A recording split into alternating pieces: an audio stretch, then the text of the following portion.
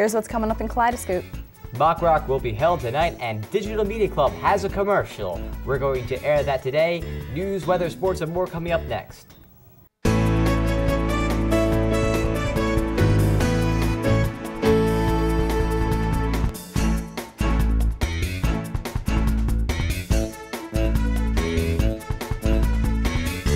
You're watching IHS TV, Channel 11. And now, Barry Harris, Laura Boyd, and the K-Scope News team. This is Kaleidoscope News this morning.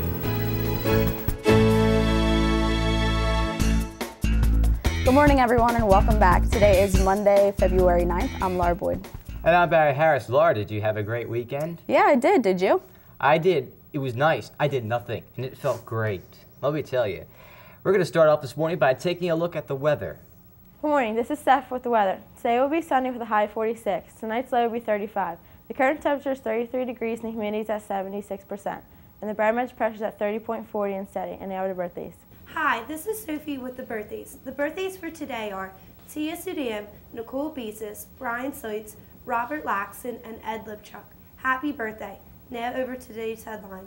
This is just with today's headline. President Obama plunges into a difficult test of his leadership this week, struggling to get a divided Congress to agree on his economic recovery package while pitching a new plan to ease loans to consumers and businesses. Now back to the news desk. The new date for the Spanish Club Bowling Fiesta is tomorrow. Permission slips are available outside of room 228 and should be returned with payment today. See Anna Walker, Tony Redding, John Kenya, Steph Caruza, or Shane Bilborough for more information. There will be an Environmental Club mentor meeting today to discuss upcoming trips in room 308 at 2:30. The registration period for driver's ed has been extended to Wednesday. Students may register prior to their 16th birthday. There will be a Students Against Destructive Decisions meeting Wednesday at 2:30 in room 220. New members are welcome. Now to sports. Good morning. This is Allie and Jim with today's sports. The swimming and diving teams have meets today at Chichester starting at 3:30. Attention all lacrosse players. Conditioning begins today at the administration building at 3:15. The Flyers beat the Thrashers last night 3 to 2. They play again Thursday at home against the Senators. The puck drops at 7. The Sixers take on the Suns tonight at home. Tip-off is at 7.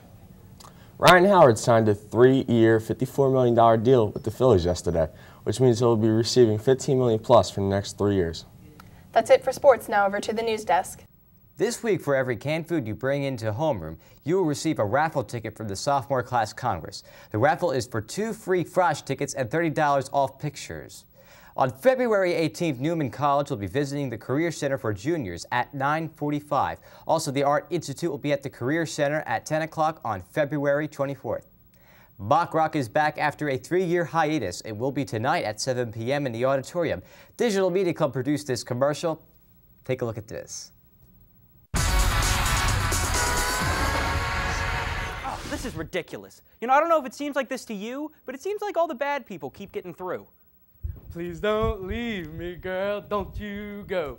If I have to beg or plead for your sympathy, I don't. This life is full of dread. When is it going to end? The song that I could sing, but I can try for your. Our dreams are made of real things. A nice, pleasant disposition and a nice voice. And and then all the good people are getting rejected. I I love the colorful clothes she wears and the way the sunlight plays upon her hair. At last,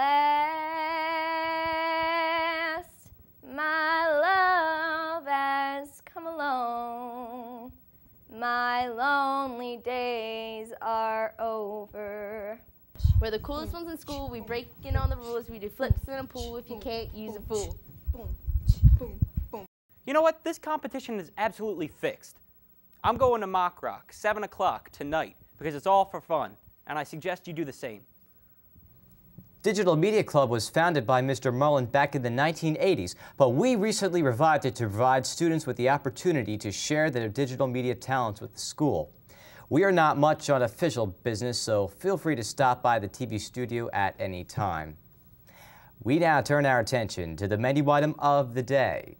Hi, this is Nick with the menu. Today we'll have toasted hot ham cheese on a bun, carrot or celery sticks, and applesauce. And tomorrow we'll have baked lasagna, wheat dinner roll, tossed green salad, and mixed fruit.